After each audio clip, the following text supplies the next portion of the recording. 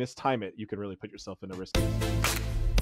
Very, very true. Yep, as soon as you start channeling that ultimate, if you get put into a bad spot, and because again, you're not gaining any extra movement ability. If the enemy just leaps away and uses their movement ability, you're gonna have to cancel out that, wasting the cooldown and kind of trying to catch up. Either way, I am excited for all of the all of how. Oh,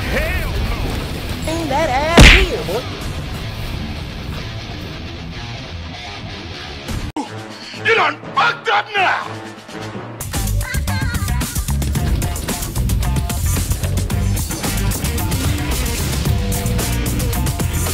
Yo, that ultimate do a fucking ton of damage.